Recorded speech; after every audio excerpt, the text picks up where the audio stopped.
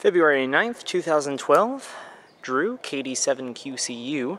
This is the ham radio tower that I just purchased from a guy for 500 bucks, including all the rotors and uh, coax and the antennas. So the top beam right there is a 12 meter, 17 meter, uh, three element beam. Uh, the lower antenna is a four element with uh, two driven elements for uh, 10, 15, and 20.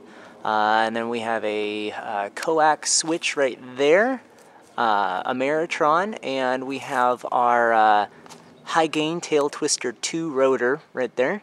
And then this tower is the HBDX uh, 48 made by Rohn, 48 foot uh, tower with a 12 foot mast on the very top into the rotor.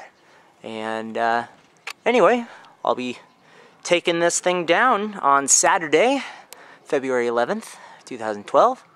And uh, hopefully I don't fall off and kill myself. Enjoy.